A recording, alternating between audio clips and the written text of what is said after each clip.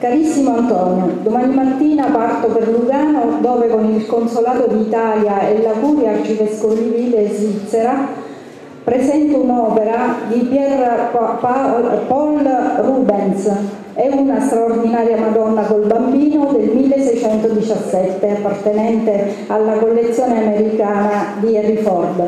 Purtroppo l'organizzazione dell'evento coincide con la data di inaugurazione della tua antologica